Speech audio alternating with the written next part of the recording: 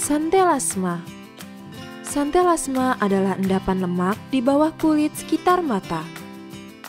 Gejala santelasma adalah bercak kuning bergelombang di sudut dalam kelopak mata atau di sekitarnya.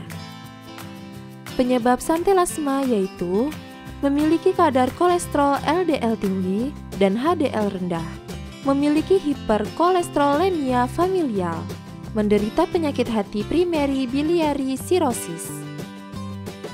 Faktor resiko santelasma yaitu seorang wanita berusia 30-50 tahun, perokok, obesitas, menderita hipertensi dan diabetes, kadar lipid sangat tinggi.